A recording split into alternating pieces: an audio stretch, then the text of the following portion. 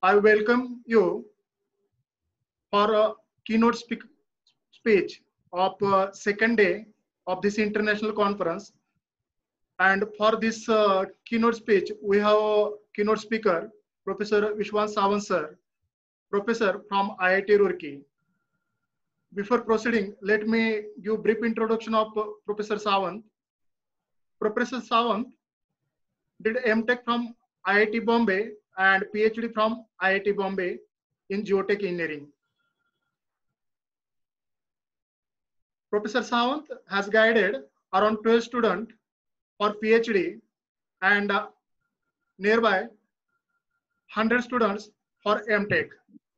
He has published uh, around uh, 86 international journal papers in peer-reviewed journals. Professor Sawant associated with IIT Roorkee since last 20 years. I welcome Professor Sawant on behalf of Department of Civil Engineering, Government College of Engineering, Karad. Now I request Professor Sawant, please proceed the session. Hello. So good morning, Yes, all of you. Uh, first, let me thank all the organizers from GEC Karad and uh, REC Ajamgarh. Okay.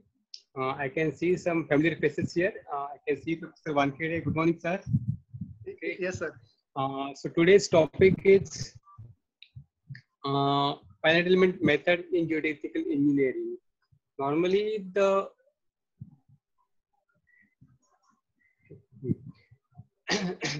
uh, is am audible? Yes, sir. Okay, okay. Uh, so normally when we speak about FEM, the mainly we talk about beam elements, uh, truss elements, or plate elements. Mainly it is taught from structural point of view. But for geotechnical engineering, it is little bit different. Okay. Mainly we have to consider a semi-infinite domain.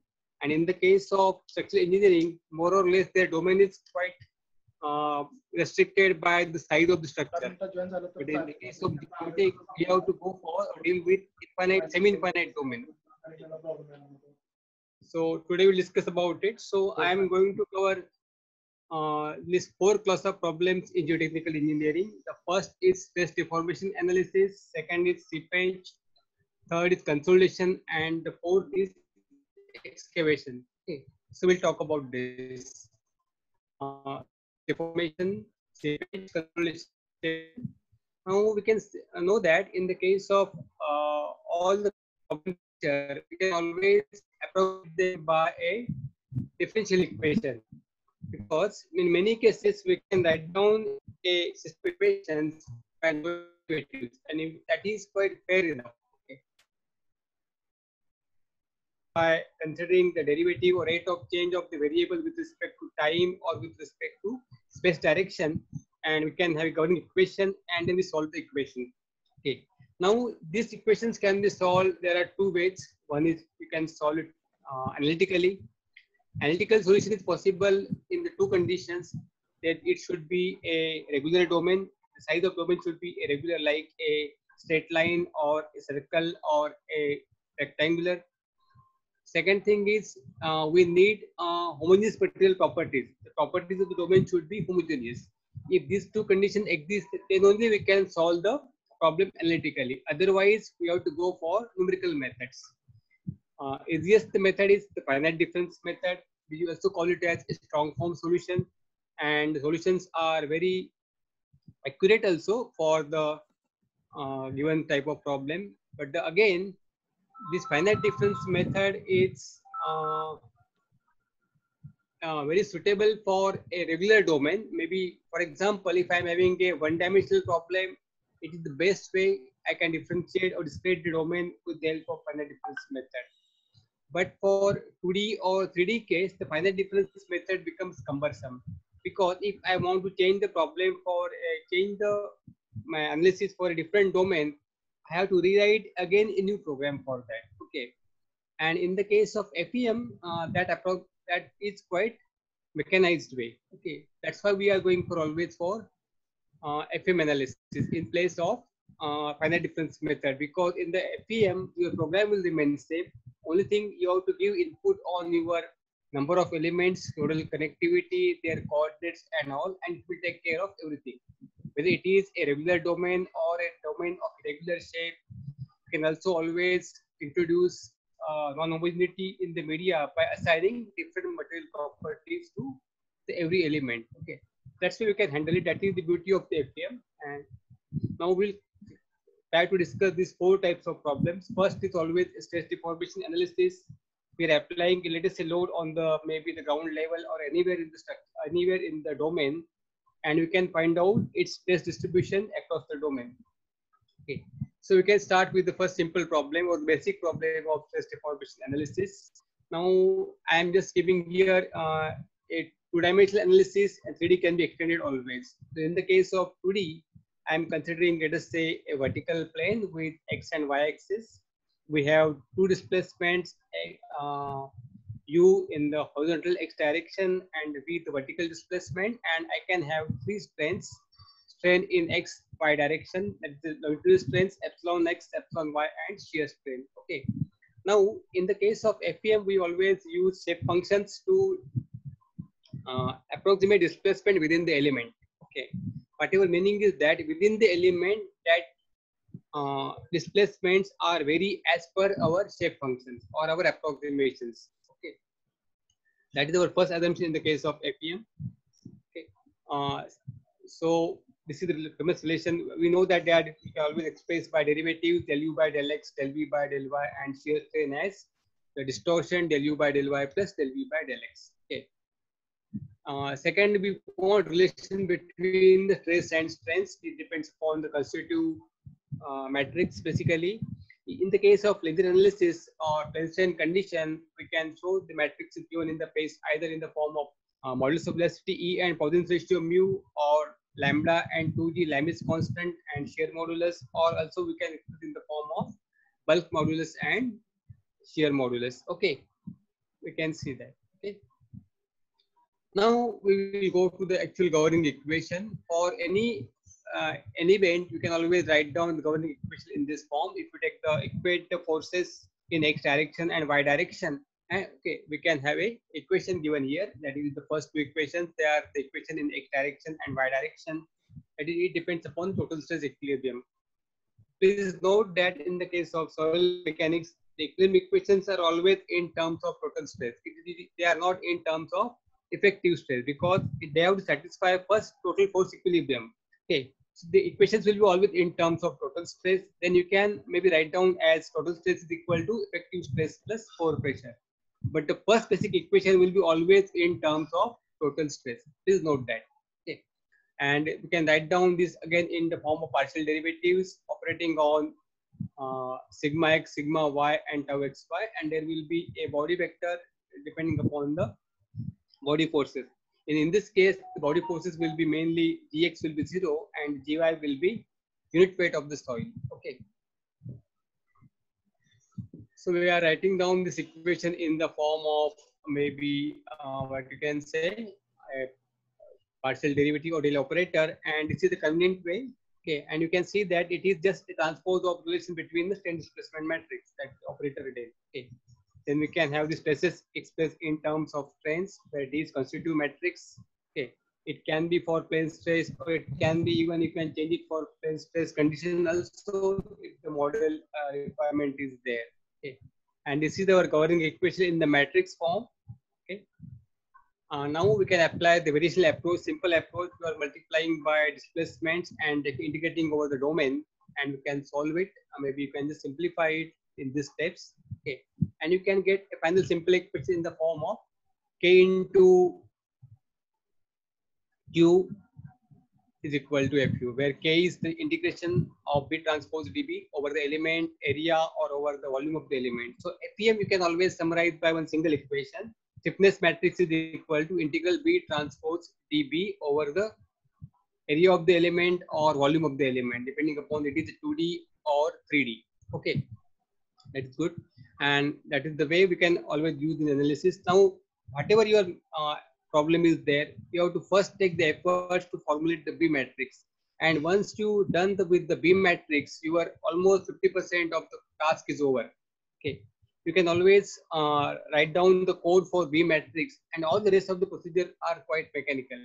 You are performing this uh, product B transpose DB over the Gauss points, Gauss particle points on the elements and you are adding it, updating the stiffness matrix and then there is assembly that you are doing with the help of nodal connectivity. So all the other procedure is quite mechanical. Okay. By assigning them nodal connectivity and by helping them in assembling in the global stiffness matrix can be considered as a mechanical process. Okay. So basic formulation part is you have to write down the stiffness matrix. So first formulate the B matrix. And in the many cases, only this B matrix will vary and rest of the procedure will be quite same. Okay. So this is the basic equations. One is for stiffness matrix and one is for the force vector. It depends upon the body force. It may be depend upon the traction applying over the either surface or the line or the boundaries. Okay, that's what we can do. Okay, now so this is the formulation of the B matrix. It is in terms of where B is relation between the strains and displacements, and with the help of shape functions you can do it. Okay.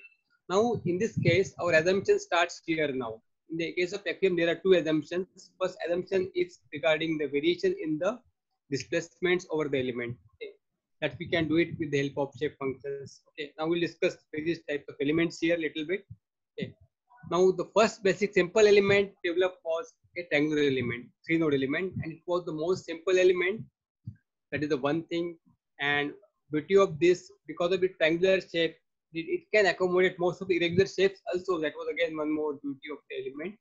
Third point was in this case, in the case of three node elements, it which uh, maybe it may, can be considered as a drawback also. Um, in this case, the strains are constant. Within the elements, strains are constant. That is supposed to be a drawback, and that you can overcome it by taking large num number of elements. So you can see the element here with three nodes and with two degrees of freedom displacement in horizontal and vertical direction. Now we can have one more element. Uh, again, use four node rectangular element with having four nodes, okay, with two degrees of freedom for each element. Shape functions can be n1 to n4. Okay. So this is the shape function matrix for it. Now shape function for triangular element can be generated in a simple way with the help of uh, geometry of the element with the help of this equation, simple equation, where delta is the area of the triangle and the equation can be of the form of 1 by 2 delta into ai plus bix plus ciy and where i can be going from 1 to 3 and a ai bi ci are expressed for x and y coordinates and you can see that when you operate the derivative over it the expression for b matrix is 1 by 2 delta into the constants b1 and c1 and this b1 and c1 they are just dependent on only xy coordinates and not on the variable x and y. The meaning is that this b matrix will be always a constant matrix. It is not function of the variable x and y. So b matrix is constant that is again you can take the advantage of it. So in the integration b transpose where b is constant d material property assume constant for linear element. Again b constant. So you can take it out of the integration sign so it will be just B transpose dB into area of the element. Okay, and that is the simplest form where you have just calculate the area of the element and you have to multiply it by the product B transpose. Where and B transpose is always a uh, form of only of B's and C's. Okay, that is depend on the X and Y coordinates. Now for uh, sixth node element, I can one more. It is more advanced element over the first one. In the case of node element, our displacements were linearly across x and y direction. Now in this case, node element, we can have a parabolic variation or quadratic variation over the element. So here we can have a basic variable here. It may be u or it may be v. Okay, and it is a parabolic variation in the form of three natural coordinates L1, L2, L3. Now, what is L1, L2, L3? If I am taking any point within the triangle, in that case, that point will divide the triangle into three triangles. Okay, A1, A2, and A3. Okay, where total area is equal to A1 plus A2 plus A3. So L1 is A1 by A, L2 is A2 by A, L3 is A3 by A, and so on. Okay. So that is the way we can write down and can always solve it for this, and we can have six six functions here. Okay. Here integral we can use by simple rule, and that is so with the help of this also we can always possible for us to express this, uh, solve this stiffness matrix analytically. Okay. Now we can apply this. Uh, this is a simple example of it. We applied for a footing resting on a soil here. Okay. The, the load was applied here. This is a load over here. Then this is equivalent surcharge equal to gamma d. Okay. And we had divided this problem into number of elements here. Okay. Now in the case of uh, one more thing I want to share. In the case of uh, soil, soil mechanics problems, you are always dealing with semi-infinite domain. Okay. So you have to take care that there are two assumptions basically you are involving in the analysis. You are approximating displacements within element by a shape function or polynomial function. That's the first assumption. Second thing is you are modeling a semi-infinite domain into a finite domain. You are assuming that at certain distance from your uh, point of interest, your displacement or effect is vanishing. Okay. So after a certain boundary, you assume that the effect is not there and displacements are zero. There is no effect of this. Uh, whatever loading is taking place on the domain, that effect is nullified or vanished at this particular boundary. And we assume that at this boundary, our displacements are zero. Okay. And that is our second assumption. And as far as possible, this boundary should be far enough from the our uh, what you can say the stress zone okay. If i'm taking boundary too close to the uh, so what will happen? That means i am creating rigid boundary or i am restricting displacement. Physically it means that i am applying some external force from outside and uh, before uh, maintaining that particular boundary as a rigid boundary. To maintain that rigidity or displacement zero i have to apply some external force and that that I will create that fixed boundary. So our boundary should be such that it should not have any uh, uh, impact on the domain. That means if I'm applying a force at a point of interest, then at the boundary, there should not be any stresses. The extra stresses other than the in situ stresses, like because of the gravity, that is sigma z and maybe sigma v or k0 times sigma v, that is earth pressure at rest. Other than that, the extra stress developed due to a loading on the domain should be negligible. That is the first condition on the boundary. That if you are satisfying that, that means your boundaries are perfect and you can go for the domain. That's what we have to try with some iterations first. We can assume boundary at 5b, 6b, 7b, up to let us say 10b and all. And we can see that where your results are converging the results are converged, you can go with that particular domain. Okay. So here we applied the problem for a footing and I have taken boundaries 10b apart and this is the, my particular displacement curve. Okay, and I have equated with the our bearing capacity equation given by Brinch Hansen. The problem was done for 3D analysis also. In this case, it was applied for a pile. Okay, and the bending moment and are compared here. Okay, this is just an example. Okay, so I'm just not going into detail of quantified here. Okay, now we'll go for some 3D. This is used basically element in the Plaxis. Okay, Plaxis use in the case of 3D, it use a 10 node tetrahedral element. There are 10 nodes, and you can see that every uh, edge is having three nodes. That means again, you can assume that on the every edge the variation is parabolic or you can say quadratic. Okay. Uh, so there are 10 nodes having a second degree variation. Okay. You can see the shape functions for this 10 uh, nodes is given by here element to n10. Okay. Then these are the Gauss points used for 10 node element. Okay. Even this can be also solved analytically also with the help of similar formula uh, described earlier Gauss element. Okay. Now this fourth problem was again same was done it for a problem of pile sloping ground and we have just find out the pile capacity corresponding to a displacement of 5 millimeter. and this was the effect of slope on it. Okay. So second problem we'll consider is the problem of seepage. We are considering four problems, seepage, one deformation, then seepage, consolidation, and excavation. Okay. Now to simulate seepage, uh, this is our Laplace equation in terms of permeability, kx and ky in x horizontal and vertical direction. This is Laplace equation here that you can write down in the form of partial derivatives in this form. Okay, so it is a partial operator del here, then a matrix of permeability kx and ky, and then we have a uh, gradients del h by del x and del h by del y, which will give you, if you apply Darcy's law, they will give you the velocity in x and y direction. So we can write down this. Now here you can discretize it. Uh, maybe you can assume shape function for your rectangular or triangular element here and can express our head h in the form of shape function that head within the element can be given as n times he where h is the value of head at nodal points. See, always shape functions uh, express the variables with the help of nodal coordinates or nodal variables. Okay. With the help of shape functions, we can describe the variable within the element with the help of values of this variable at nodal points. Okay.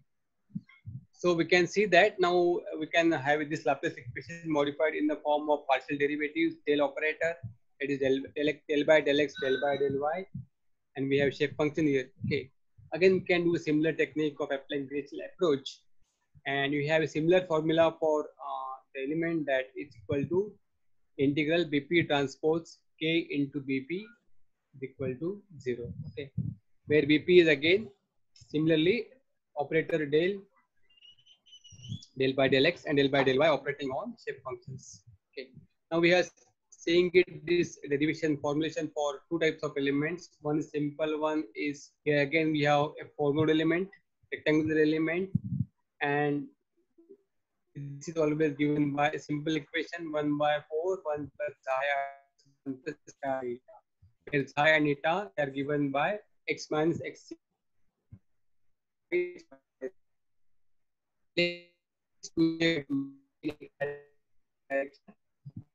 and see are the elements and have this i i eta values of minus one depending upon load positions. Okay. Uh, so this is our BP matrix operator del operating on shape functions n1 to n4 and we can have this matrix over here and when we indicate this is possible to integrate as a term,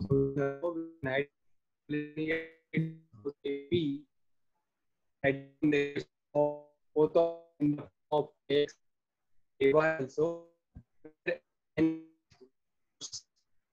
Of shape function ni with respect to x, ni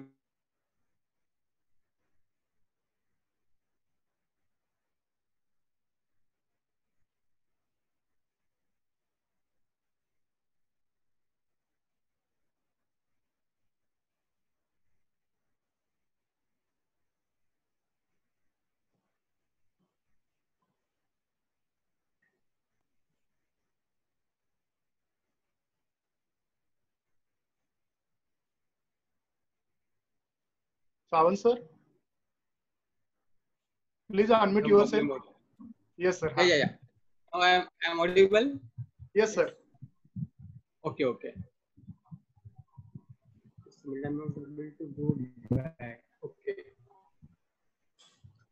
This was uh, we will discuss about uh, first. This was about triangular element. In the case of triangular elements, our because our shape functions are quite simple, and you will be getting a stiffness matrix given by this expression. Okay. Triangular element we don't have to worry about integration because it is a constant, so we can just have to multiply by area of triangle.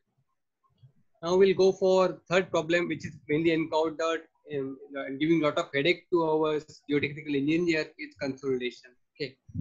This is our equation given by Terzaghi. Del u by del t is equal to coefficient of consolidation CV multiplied by del 2u by del z square. Okay, we can extend same formulation for 2D or 3D also in the same line. Okay. We can write down again this equation in the form of partial derivatives and the form of operators del by del z. Okay. we can assume that pore pressure can be approximated within the element by shape functions as u is equal to shape function matrix multiplied by its nodal values ue. Okay. Now again you can write, see here we are trying to uh, again formulate the stiffness of the element here for consolidation. This is the same uh, differential equation we are writing in terms of derivatives. And when you apply the variational approach, ultimately we are getting a similar expression like this. Uh, integral B transpose CV into B multiplied by pore pressure, elemental pore pressures minus N transpose N into derivative of pore pressure with respect to time equal to zero. Okay. We can see that in the expression here where k is equal to integral b transpose cvp and m is equal to integral n transpose n similar the expression quite similar to the mass matrix. Okay. Now when you describe in the time domain you are getting the equation like this. We can apply finite difference equation for time derivative u dot and you can get equation similar to this. Okay. Now because it is a 1D problem, we can have shape functions as given by 1 by 2, 1 minus i, 1 by 2, 1 plus i, and you can have a partial derivative of this with respect to z, and you can get a constant B matrix. And once B matrix is constant, you don't have to worry about integration because it will be just length of the element. And finally, we are getting equation of this particular type, CB by 2a into 1 minus 1 minus 1, 1 is similar to our bar element where you are getting equation as A by L 1 minus 1 minus 1. Okay. Then again the mass matrix for the element. Okay. And with the help of final final difference scheme, this is our final equation. We are solving it for unknown pore pressure at the nodes. Okay. So next, one more problem, problem encountered in the case of geotechnical engineering is simulation of excavation. Very important one and we can see how we can do it. Let us say we are excavating a, we have to excavate a volume A from a given total volume B. Okay. Now what we'll do? Okay. Now first we'll don't excavate it. I will write down equivalent system. Let us say this same initial volume uh, condition we are writing in different form. If I calculate the stresses of the domain A and applied on the boundary in the form of tractions, again, it will be the, the remaining domain B will be having the same stress distribution. That means I am calculating the stress of the domain A at the boundary and applying it as a tractions Ti on the boundary. And again, it will give me the same effect or same stresses in the domain B. Okay. So behavior B will be identical if material A is replaced and replaced by the tractions. Now, when I am doing the excavation, what I will do, because I am taking out that tractions, or what I will do is, then I will apply negative tractions on the same boundary. Okay, that's the way we model excavation. So when I excavate the volume A, what I will do is now I will apply the negative tractions or negative stresses on the remaining volume B, and that's the way I can model the excavation. That is the basically the scheme of modeling the excavation. Okay. So that's what we are doing is we can we can do it in the simulation for stage-wise excavation. Okay, first we have to remove some part. For that purpose, first calculate stresses of that particular excavation element, calculate stresses on the boundary, and apply negative stress on the remaining volume. Okay, so that is quite important. So find out stiffness of remaining volume B then find out stresses on the excavated volume to be excavated volume and apply negative stresses on the boundary portion. Okay. And you can see that here, let us say this is our initial domain where stresses are sigma zero and strains are epsilon zero, initial stresses and initial strains. Okay. Now I'm excavating only one particular part. So it, my stresses will be changed to sigma one Pens will be changed to and will be given by sigma stage increment will be given by sigma 1 minus sigma naught equal to d times epsilon 1 for epsilon 1 i'm assuming that initially i've calculated stresses and i have uh, what you can see state uh, set my all the strains to be equal to zero that's normally we do it in the case of analysis. Okay. First, we solve the problem for initial stresses that is, we assuming the gravity loading and we find out the stresses vertical and horizontal and we set displacement to be zero and then we proceed further. Okay. Now, at the second stage of excavation now, now this will be sigma 2 and again the stress will be given by is equal to D matrix into the strains between the two, difference between the two stages. Okay, so this was given by uh, Brown and Booker in 1985, and that was used in the analysis part. Okay, this is the way we are going it. We are applying a small virtual displacement delta Q, and then we integrate over the area of the domain, and finally we can get equation in the final form. This is the final equation that is integral B transpose dB over the volume of the element into incremental displacements. Uh, now you can see there are three terms on the right hand side. Uh, I'm just talking first about second and third term first. Second is integral n transpose gamma dV force vector due to body forces. Third is integral n transpose T over ds force vector due to surface tractions. And the first term is quite important. It is minus integral B transpose sigma i minus 1 dV sigma i minus 1 is the stresses on the boundary at the previous stage of excavation. Okay. And we are applying negative stresses on the boundary of the element. Okay. So this is the, again you can see in schematic form. Okay. We are doing it by equation 54 here. If we are going for first stage, it will be given by this equation. For second stage of excavation, you can see that it is replaced by sigma 1 here and I'm updating the displacements at Q2 is Q1 plus delta Q2. This was solved for a problem and we can simulate acceleration like this and we can calculate stresses over the remaining area of the domain. Okay. So that's what uh, I have tried to cover in this chapter actually. We have tried to cover four topics of different areas in the geotechnical engineering, stress deformation analysis that we can apply for the problems on footings, problems on retaining walls, problems on piles. Then we have uh, tried to explain the consolidation phenomena, try to work with seepage, and lastly, the problem of excavation.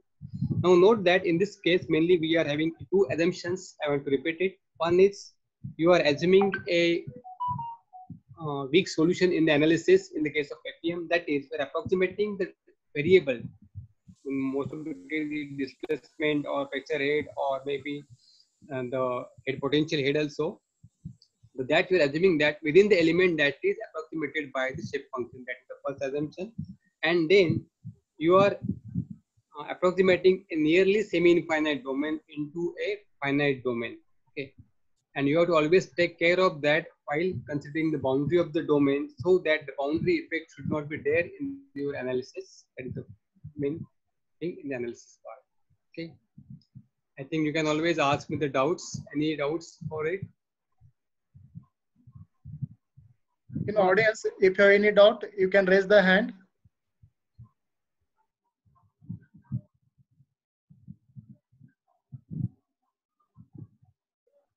Or uh, put your query in chat box.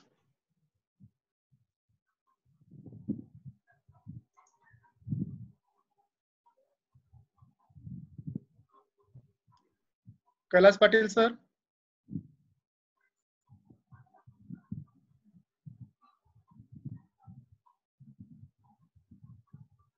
Sawant, sir.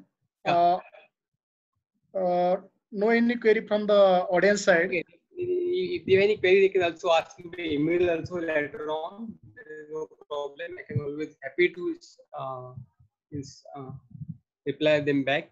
No problem. Sure, sir.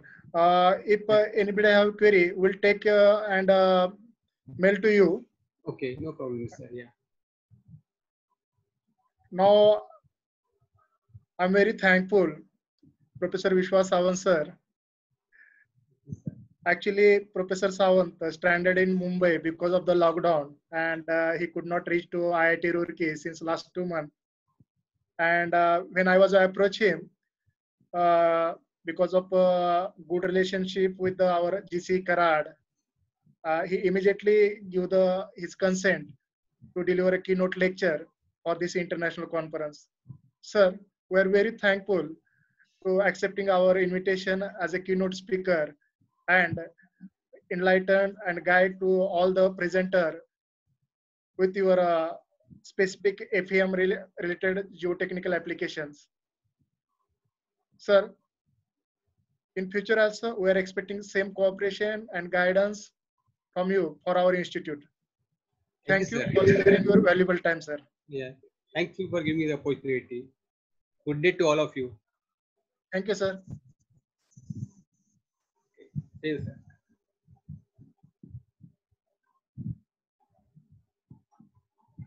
Now we'll proceed to the next session, session one, day two, session one. For uh, this session, we have external chair.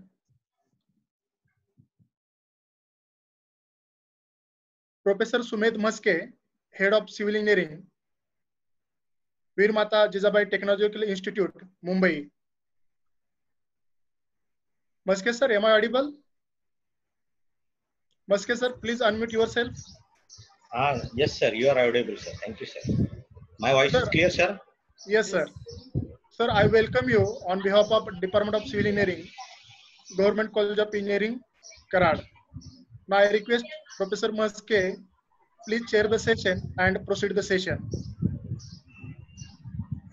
Uh, thank you, Professor.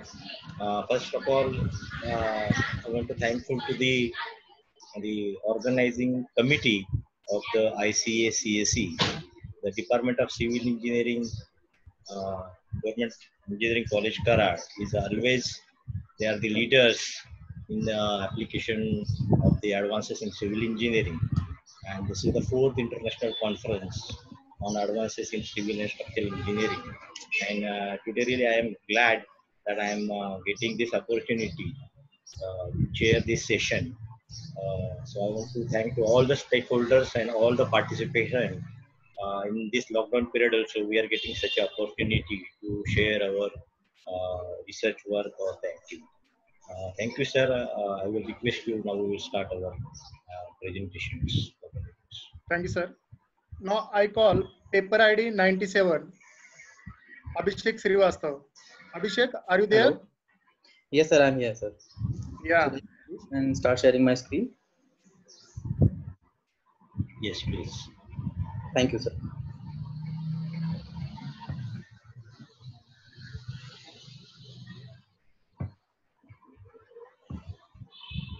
Is my screen is visible to everybody? Yes. Yes, yes. Okay, thank you. Uh, So I am Abhishek Naran Srivastav. I am a research scholar from uh, Department of Civil Engineering, IIT Delhi. I am here to present my top uh, my research topic on effect of leachate recirculation for enhancing biogas generation for uh, uh, for organic fraction of municipal solid waste in simulated landfill bioreactor. So we, as we all know, that municipal solid waste is uh, disposed in landfills conventionally. But here I'll I'll discuss about the new method of landfilling in which uh, we not only can enhance the biodegradation, but also we can uh, procure uh, uh, more amount of biogas uh, for the energy generation as well. So in my uh, presentation, I'll be going through this outline, introduction, materials and methodology, observations, and conclusion. So as we all know that India is a developing economy and it is promoting the urbanization and consequently the, the enhanced population rate uh, is producing the uh, rapid amount of municipal solid waste also. And uh, thereby it is also requiring the huge amount of land for the um, uh, landfilling also. And it is expected to uh, uh, rise the production of municipal solid waste also in upcoming years. Uh, this, this this specific literature suggests Doshi and Ahmed 2016 that, that the municipal solid waste uh, will be enhanced uh, in production rate by by threefold by 2050. So what are the uh, like adverse effects of the uh, municipal solid waste huge production? As we all know that the the conventional landfilling in India has seen a lot of uh, adverse effect on the environment. Like open dumping has caused the severe severe uh, environmental hazards in form of uh, groundwater contamination, a large amount of methane production. As we have seen few years back in in Mumbai also that our landfill has caused fire hazards, lot of uh, particulate, uh, lot lot of environmental hazards. So why we are concerned about the uh, specifically like or for organic fraction? We can see here that the organic fraction contains about 40 to 60 percent amount of uh, in uh, lunch of amount of in uh, solid waste, which is responsible for the nuisance crea- creation like uh, uh, like fire, uh, odor, and leachate. you can see here in the right corner of the slide that the India also has the, the has the huge amount of uh, uh, mm, uh, organic fraction in it that that can be uh, procured for the biogas generation and here we can see that the what could be the uh, consequences of open dumping like uh, if we dump simply dump the waste in an open manner the groundwater contam- contamination could uh, could happen greenhouse gas em- emission could occur and uh, fire hazards low failures pest and rodents and other problems can occur and uh, significantly affect our environment as you all know that uh, the MSW is disposed in the uh, in conventional landfill in the dry tomb manner. Why we are calling it a dry, dry tomb? Because it is confined in the liner system as, as well as in the cover system. But if at all, uh, by any means, the cover system and the liner system breaks down, the leachate will percolate in the uh, from the uh, from the liner system. It will uh, uh, it will consequently uh, contain contaminate the like groundwater and if at all the cover system also breaks the greenhouse gases produced from the degradation of the municipal solid waste it will it will pollute pollute our environment. Moreover it also has the slow degradation of waste lesser methane production and it takes a very long time for the waste stabilization and also the end products are very hazardous. And the process is, is anaerobic and we all know that anaerobic process is slower than the aerobic process.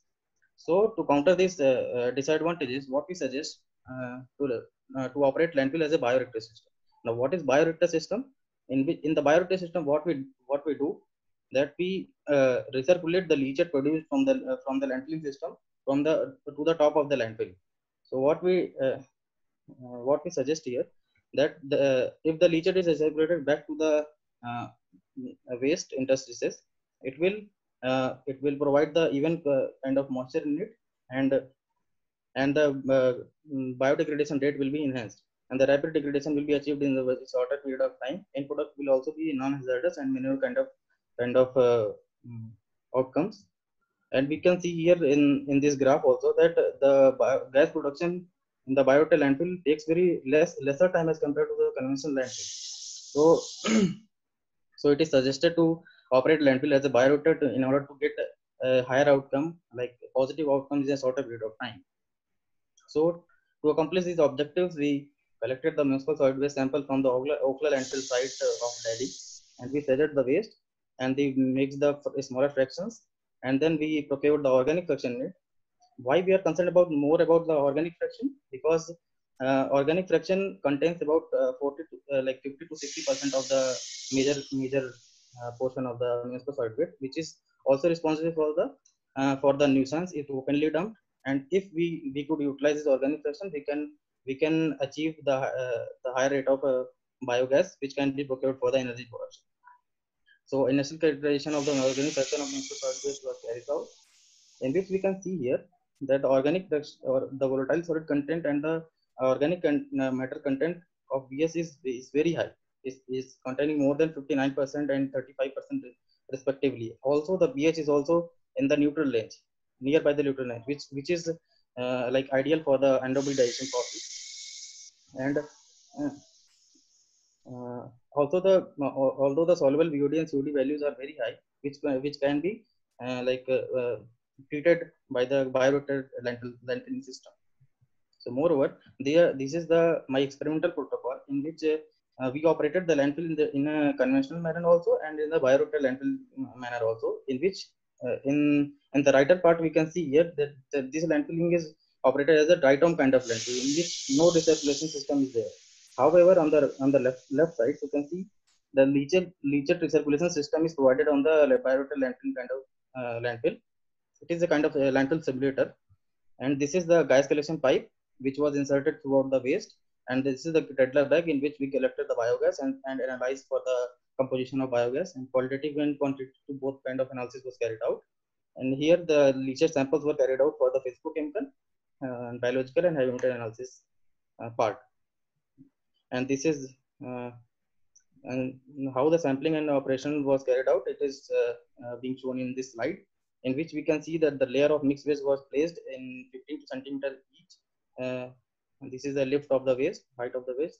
And uh, before that, we uh, placed the drainage layer of, of uh, gravels of 15 centimeter thick layer was a layer of pre-washed gravel was placed over to that the waste layer was placed over to that 5 centimeter of uh, 5 centimeter of gravel and 5 centimeter of uh, sand was placed. And the leachate recirculation was carried out every second day. And temperature measurement uh, was carried out from these uh, ports. Gas sampling was carried out at every second day. And the solid sampling was carried out at an interval, interval of two months and over uh, in order to enhance the biodegradation process the sewage sludge and the black water was uh, percolated throughout the uh, uh, throughout the waste in order to initiate the biodegradation process. So this is the working protocol in which we can see the organic fraction of municipal solid waste was threaded and valorized. And uh, the dry tomb and biota kind of uh, reactor was placed.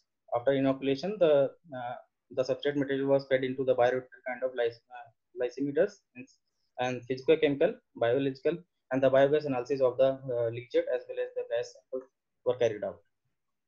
So in the observations, we can see uh, that uh, firstly, I would like to also uh, tell that the, that the uh, waste undergoes the endogenic digestion uh, while we landfill the material. So in in the endogenic digestion process, what what occurs? The the endogenic digestion takes place in a four in a four phase manner in which firstly the hydrolysis part occur in which the uh, outer structure of the substrate material breaks down. After that the acidogenesis process will take place which is responsible for the uh, production of uh, you know the biogas. So in which the in the second stage uh, which occurred after the 10th day uh, the acidogenesis process occurred in which we can see the ph of the value uh, went down. And after and over the period of time it attained almost neutral range of ph which is uh, which is also suggested for the optimum uh, biogas requirement that the pH should be 6.5 to 7.5. However, the electronic conductivity also uh, increased, and then after it, it uh, stabilized over the period of landfilling because of uh, like uh, because of the release of inorganic salts.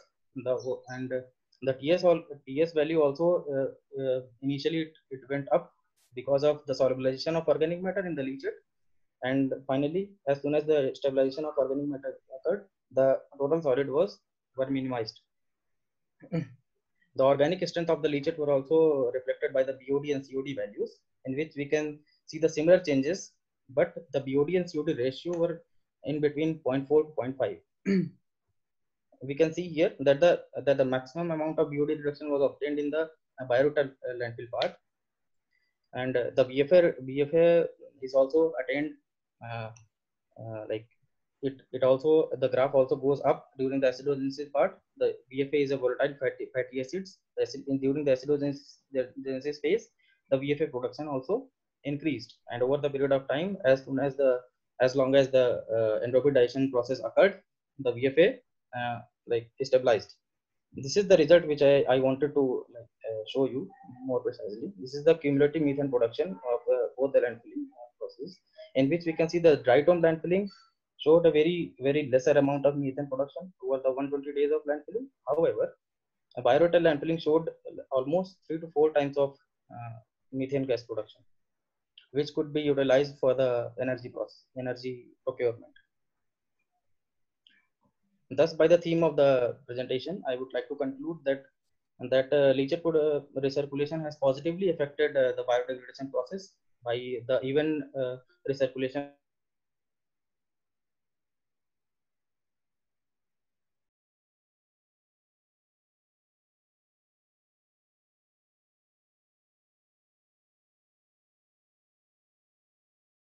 Of moisture and